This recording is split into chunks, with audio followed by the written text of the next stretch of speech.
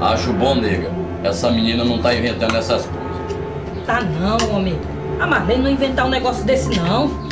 Mas ela pode ter inventado pra escapar da pisa que eu ia dar nela. Marlene.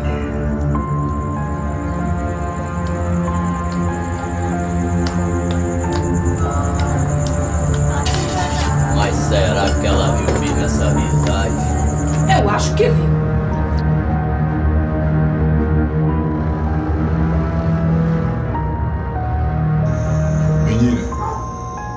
Eu vou te dar um caixão de dinheiro. Se essa menina estiver mentindo, ela vai levar uma surra bem grande, mas bem grande pra nunca mais mentir pra mim. Ele tá enterrado aqui.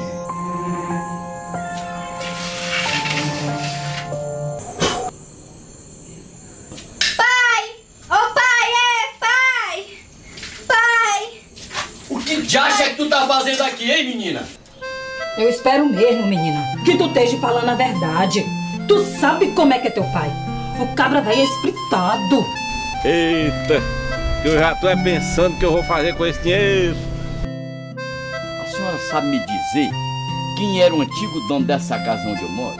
O homem era cheio do dinheiro, tinha umas terras por aqui e vendeu tudinha.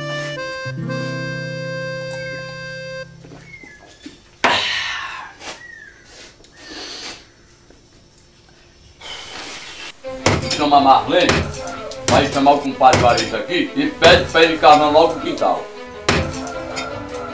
Mas pelo amor de Deus, preste atenção. A dispensa só é pra cavar quando eu chegar. Se não tiver nada lá, seu pai vai dar uma baita na sua. Isso aqui é pra nunca mais ficar com gracinha quando eu estiver conversando com as pessoas. Você e sua irmã, presta atenção, viu?